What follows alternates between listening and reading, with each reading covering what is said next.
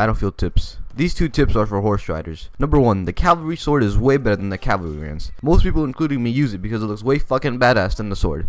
There's no advantage besides the charge, and that too is easy to dodge. Number two, Use the fucking cavalry rifle for fuck's sakes. Don't be an autist that runs balls deep into a flag with your melee weapon. 9 out of 10 times you'll get fucked by dickheads prodding on the ground with a Lewis weapon. Take your fucking time to deal with these cocksuckers using your cavalry rifle.